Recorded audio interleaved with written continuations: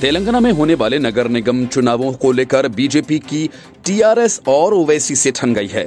BJP की दमदार मौजूदगी ने के चंद्रशेखर राव और उनके सहयोगी ओवैसी की नींद उड़ा दी है। माना जा रहा है कि बिहार विधानसभा चुनाव के बाद बीजेपी का सबसे बड़ा और कड़ा मुकाबला तेलंगाना के नगर निगम चुनावों में होने वाला है।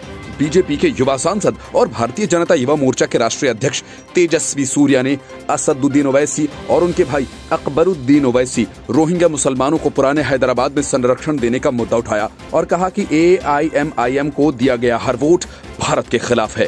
तेजस्वी सूर्या ने कहा कि ये हास्यास्पद है कि अकबरुद्दीन और असदुद्दीन ओवैसी विकास की बात कर रहे हैं। उन्होंने पुराने हैदराबाद में विकास की अनुमति नहीं दी। उन्होंने केवल रोहिंग्या मुसलमानों के प्रवेश को अनुमति दी। ओवैसी को दिया गया हर वोट भारत के खिलाफ और भारत से जुड़े हर फैसले के खिलाफ है।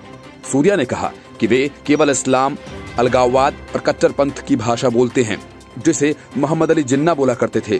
तेजस्वी सूर्या ने हैदराबाद में चुनाव प्रचार करते हुए कहा कि ये सिर्फ़ एक निगम चुनाव नहीं है अगर आप यहाँ ओवैसी को वोट देते हैं तो वे महाराष्ट्र, कर्नाटक, बिहार, यूपी जैसे राज्यों में और मज़बूत होते हैं।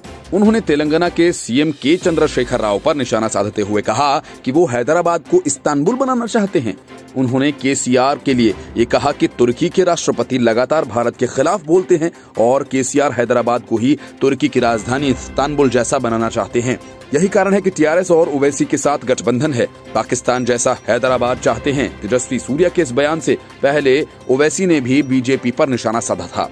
ओवैसी ने कहा था कि अगर आप किसी भी बीजेपी नेता को नींद से जगाएँगे और कुछ नाम लेने को कहेंगे तो वो कहेंगे ओवैसी। इसके बाद आतंकवाद और पाकिस्तान का नाम लेंगे।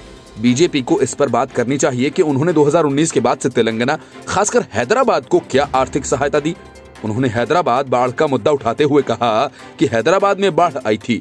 मोदी सरकार ने उस वक्त हैदराबाद को क्या आर्थिक मदद दी? वो अब इस चुनाव को सांप्रदायिक रंग देने की कोशिश कर रहे हैं, क्योंकि उस वक्त उन्होंने कोई मदद की ही नहीं थी। यहाँ ऐसा नहीं चलेगा। जनता जानती है।